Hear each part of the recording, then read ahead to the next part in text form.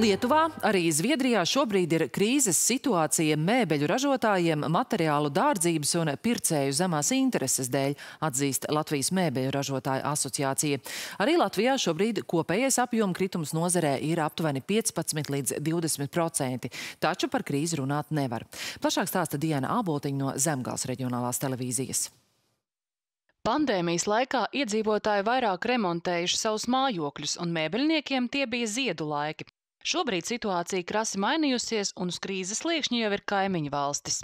Lietuvas industrija, mm, kas pamatā strādā uz, li uz lielo gigantu, Zviedru, tie, tie ir zaudējuši pat līdz 40%, un tendences, kad kad jau, jau vairāk uzņēmumu aizgājuši uz maksāt nespēju. Partneru valstīs, ja, kā nu, piemēram viena no tādām lielākajām partneru valstīm Zviedrija, arī neklājās ļoti spoži. Ja, šis te, IKP pieaugums ir samazinājies strauji.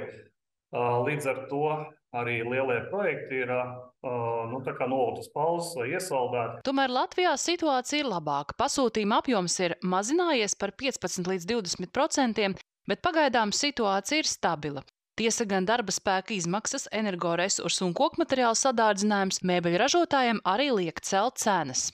Uh, ozola cena, kuru mēs iepērkam no Ukrainas, pacēlās dubult, dubult pacēlās ozols. Ozola, ozola zāģu materiālu. Nedaudz cietas arī mēbeļa eksporta tirgus, īpaši tiem ražotājiem, kuriem eksports tendēts tieši Skandināvijas tirgumu. Visi solījumi, kas uh, ir izskanējuši no mūsu partneriem, ir tādi, ka šobrīd viņiem ir pilnas noliktavas, Covid laikā sakrātās.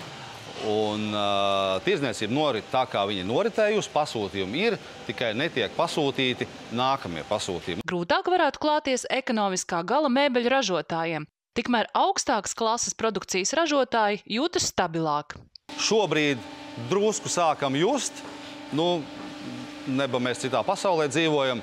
Bet uh, faktiski tik un tā esam jūtamies diezgan stabili pa savu vietu tirgu. Tiek lēsts, ka rudenī varētu viss atgriezties iepriekšējā tirgus līmenī. Latvijas Investīciju un attīstības aģentūra piedāvā mēbeļu ražotājiem arī dažādas atbalsta programmas. Kā viens no būtiskākajiem atbalsta mehānismiem varētu būt starptautiskās konkurētspējas veicināšanas programma. Tie piedāvās dažādas ļoti būtiskas tādas um, atbalsta darbības, kā uh, dalības starptautiskās um, pārdošanas platformās. Ja. Kā skaidro Lijā, tad politikas veidotāji šobrīd aktīvi strādā arī pie jaunu atbalsta mehānismu izstrādes un ieviešanas.